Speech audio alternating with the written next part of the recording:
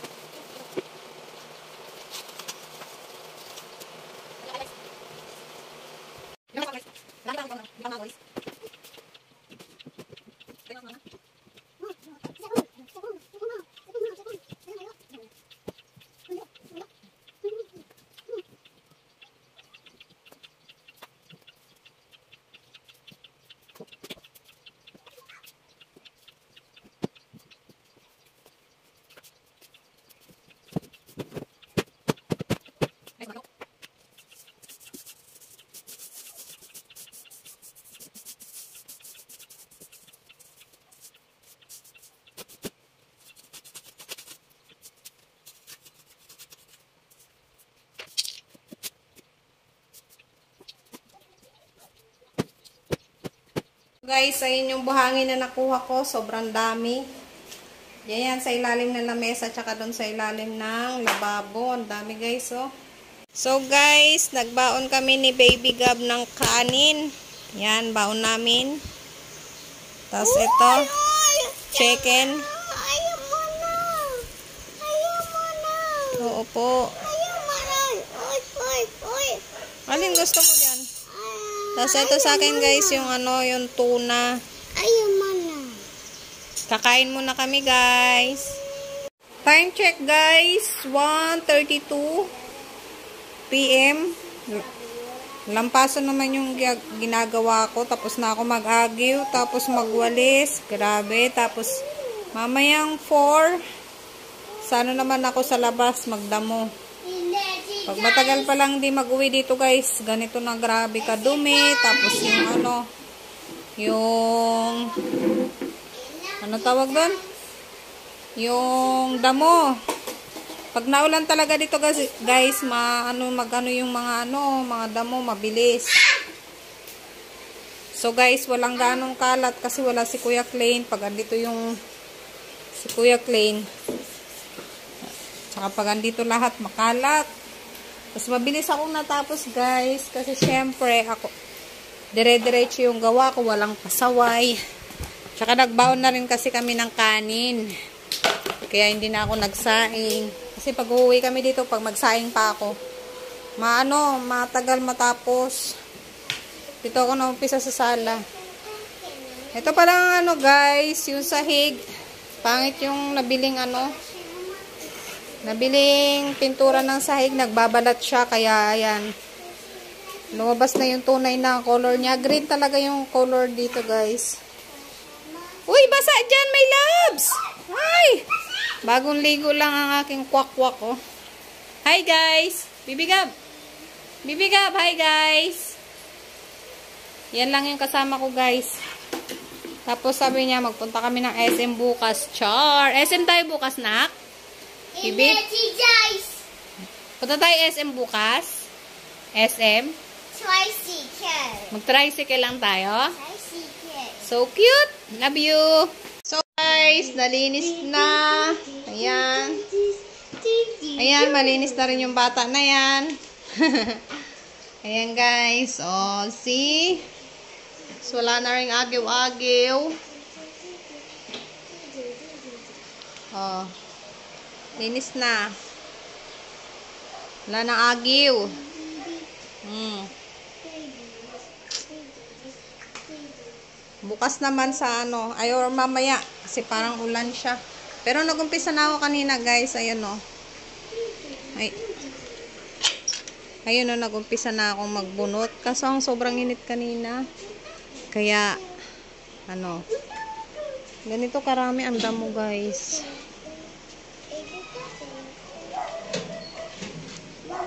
Wait lang. Wait lang. So guys, so ayan oh. Yan. Daba. Hmm. Ang dami, di ba? Oh. Dami kong dadamuhin. Yan, hanggang doon. Two weeks kasi kami hindi nag-uwi, guys. Ayan, oh. Ah, dami. Pero mamaya, Mama. Total tapos na ako doon. Matata mabilis lang yan sa akin. Ano ba? Ang chenas. Yan lang yung kasama ko, guys. Si Kuting. So, ayan na, guys. Nag-ulan na.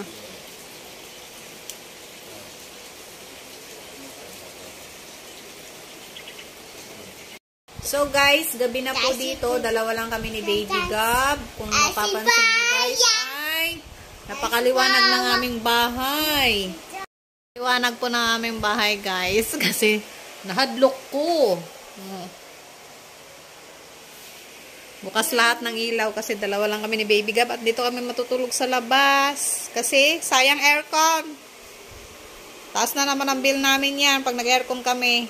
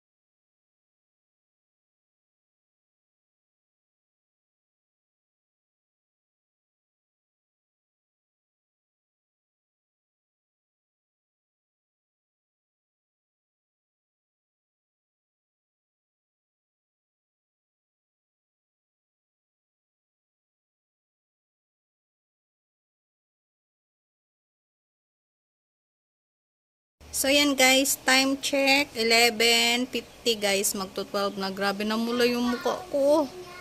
Kasi tinapos ko po talaga yung pagdadamo guys, kasi uwi na kami mamaya. Namula talaga yung mukha ko. Sana all. Rosy, cheeks char.